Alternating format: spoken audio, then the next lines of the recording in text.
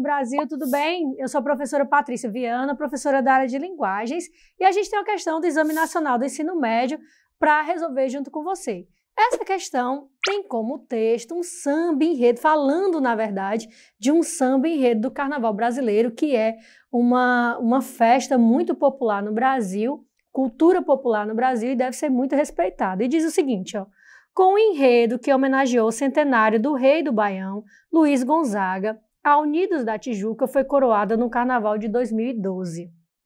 A penúltima escola a entrar na Sapucaí, na segunda noite de desfiles, mergulhou no universo do cantor e compositor brasileiro e trouxe a cultura nordestina com a criatividade para a avenida com o enredo. O dia em que toda a realeza desembarcou na avenida para coroar o rei Luís do Sertão. A notícia relata um evento cultural que marca esse evento que é o carnaval. Marcou o quê? Nós temos um carnaval, é, esse samba que é da Unidos da Tijuca, homenageou o rei do Baião, do Nordeste, da cultura popular nordestina. Alternativa A. Primazia do samba sobre a música nordestina? Não. Ah, o samba né, o samba enredo, as escolas de samba homenagearam o rei do Baião, mas não com o intuito de dizer que eles são mais importantes, mas dizer que nós temos cultura popular e que não há uma importância, mas que todos são iguais e que devem igualmente ser, serem respeitados. Então essa alternativa está falsa. Alternativa B, interrelação entre dois gêneros musicais brasileiros. Um é o samba enredo e o outro é o baião, é o forró, do Luiz Gonzaga. Por isso que essa alternativa está verdadeira. Ou seja, interrelacionaram gêneros musicais brasileiros diferentes. Essa é a alternativa correta.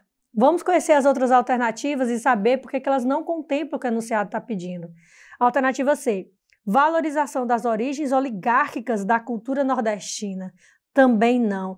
Lembrar que em se tratando de cultura popular, né, o baião, o nordeste, nós temos uma cultura nordestina, uma cultura popular, uma cultura do povo, assim como também é o carnaval. O samba também é popular, apesar de também ter origem na, na, na África, na África e na, na cultura portuguesa. Né? O samba é a mistura da cultura portuguesa e da cultura africana, o lundu e também o lundu africano, né? E a cultura é, europeia, portuguesa, tá certo? É uma misturazinha que aí construiu o samba. Vamos para o próximo. Alternativa D. Proposta de resgate de antigos gêneros musicais brasileiros. O evento cultural não tem essa proposta. O evento cultural tem uma ideia de é, narrativa, né? contanto que eles fazem um dos, um dos gêneros textuais propostos pelo carnaval para a escrita do carnaval é a sinopse, que vai contar toda uma história, por isso que o nome é samba enredo, tá certo? E a ideia não é resgatar gêneros musicais antigos, é resgatar uma história, independentemente do que é o gênero. A alternativa é criatividade em compor um samba enredo em homenagem a uma pessoa. A criatividade se deu aí pela interrelação, por isso que a alternativa correta é a alternativa B. Espero que você tenha compreendido. Bons estudos e até a próxima.